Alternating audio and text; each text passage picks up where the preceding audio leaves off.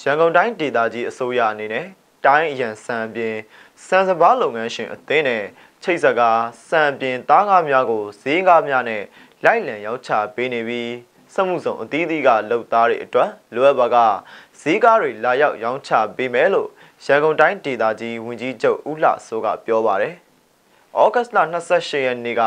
ရန်ကုန်တိုင်းဒေသကြီးလှိုင်သာယာမှာရှိတဲ့ရွှေလင်မန်းစက်မှုဆောင်ကလုပ်ငန်းရှင်တွေနဲ့တွေ့ဆုံရမှာလိုအပ်ရင်ဆက်သွယ်ဖို့လုပ်ငန်းရှင်တွေကိုဝန်ကြီးချုပ်ကကမ်းလှမ်းပြောဆိုခဲ့တာပါဒီစမှုစုံမှာလည်းတဲရောက်လာတဲ့ပုဂ္ဂိုလ်တွေဟိုလိုတော့စမှုစုံဥက္ကဋ္ဌလိုပြီးလို့က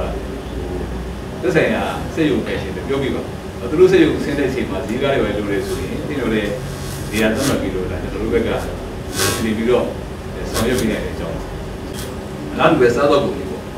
အဲ့တော့အရင်တော့ဆန်တဗီကိုထောက်နေရဒီကိုဗစ်ဖြစ်တဲ့ဒီခုနလပဲလောက်မှာဆန်တဗီကို1500ပဲဟိုဒီကဈေးလည်းမသွားနိုင်ဒီတွေကလည်းအရင်မထွက်ရဲဝင်ပွဲလည်းမရှိကဲအဲ့တော့ကျွန်တော်တို့ကဘာလို့ဆိုတိုင်းအစိုးရမှာအရင်တည်းရှိတယ်တို့ကကျွန်တော်တို့လည်းဒီ message ကြီးရတယ်ဥပပြီးတော့လေဒီမြန်မာနိုင်ငံစံစဘာအသင်းချုပ်လို့လည်းပေါင်းပြီးတော့ကဲဆန်တဗီကိုကျွန်တော်တို့ကဆန်အကောင်းပါဟိုအမထဆန်ကျွန်တော်တို့လည်းစားနိုင်တယ်အဲ့လိုဆန်မျိုးကိုကျွန်တော်တို့က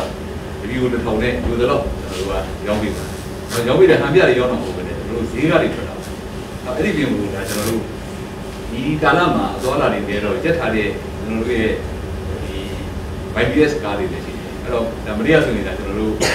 YBS ကားအစီး60လောက်အဲ့ဒီမှာဆန်စီနော်ဒီတက်သွန်အာလူနောက်တစ်ခါကျွန်တော်တို့ကဒီအသားငါးတွေအဲ့တော့တချို့ကလည်းပါပြောလို့ဆိုတော့ခမင်းမငတ်ဘူးပေါ့နော်ခင်းငတ်နေနော်အဲ့တော့ခင်းငတ်တယ်ဆိုတော့ကျွန်တော်တို့က မြို့တော်ဝန်နဲ့ကျွန်တော်တို့တိုင်နေပြီးတဲ့အခါမှာလမ်းစီယူစရာမလိုဘဲနဲ့ဈေးကားတွေကိုကျွန်တော်တို့ကရက်ွက်တွေလိုက်